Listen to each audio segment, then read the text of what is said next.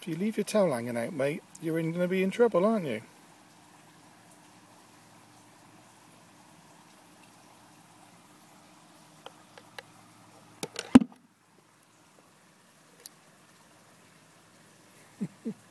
Sorry, I didn't mean to slam the lid.